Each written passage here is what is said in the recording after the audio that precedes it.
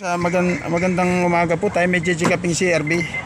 Ah, ang problema po nito, yung preno niya, pag umaandar, humihigop. Humihigop siya. Start po natin siya. Subukan natin. Naka-neutral neutral muna natin. Ayan kung mapapansin niyo po. Ayan o. Ayan.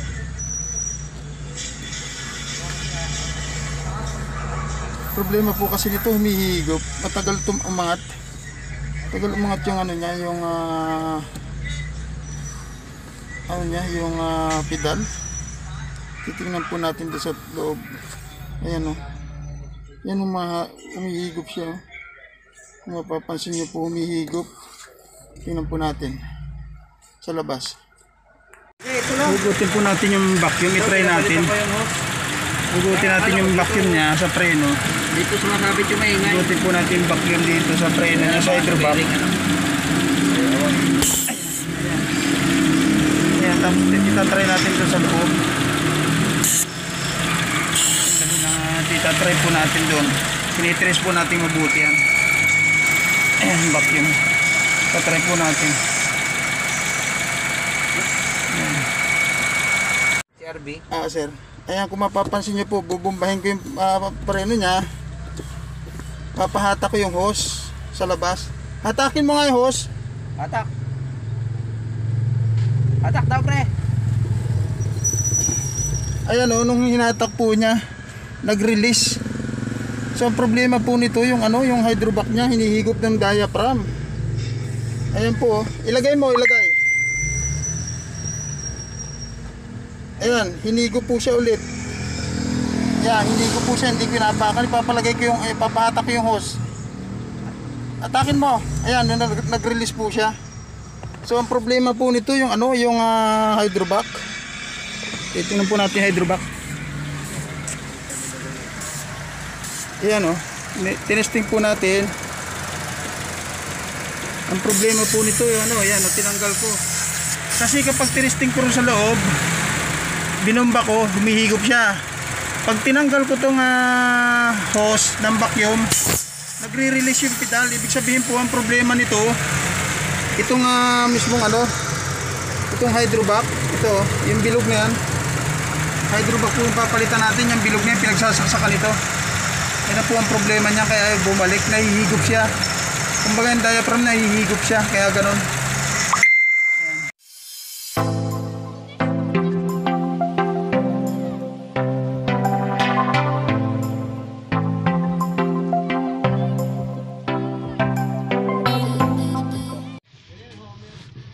Tatanggalin natin yung hydrovac niya. May apat na tornilyo na yan oh. makikita niya yan, yan dalawa na yan. Tapos sa dalawang kab- kabila tornilyo ng hydrovac. Tatanggalin na po natin. Yan, tatanggalin na po natin yung ah, hydrovac niya. Natanggal na yung ah, apat na tornilyo sa loob yan. Dito. Iatras na lang natin to. Yan, kasama na yung ah, unahin natin tanggalin yung master niya. Kaya para duman yung hydrovac. Ayan.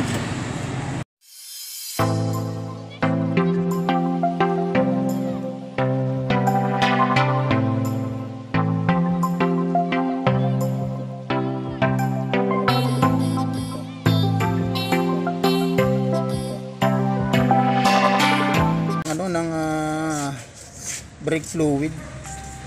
Kaya po nasira ang hydrovac niya Ayan po, kabubukas lang po nito ngayon. Yan yung papalitan to. Ayan.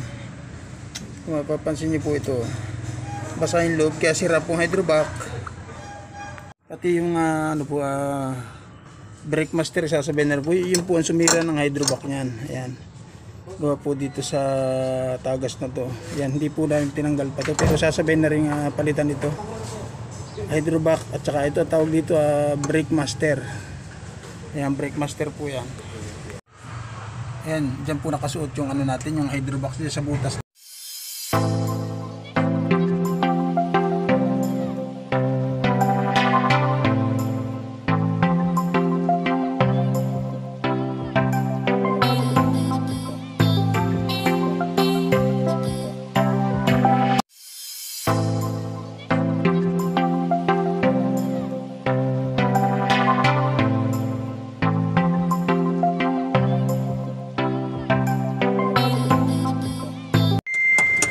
Nakalagay na yung ah, tornilyo ng hydrovac yung apat na dose sa loob yung tinanggal natin kanina.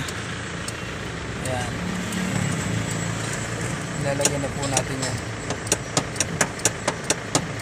Medyo masikip lang po siya kaya ganyan.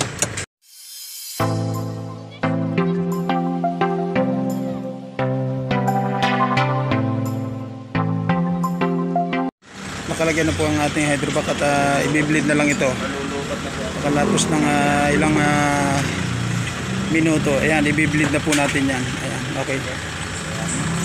Bleeding na lang po ang kailangan yan. Ah, mga tinanggal kanina. Ayan po. Ayan, maraming salamat po sa inyong ah, suporta. Ayan, thank you. Ayan po, tapos na po siyang ah, i-bleed. Ayan, kinukompleto na natin mga tornilyo niya.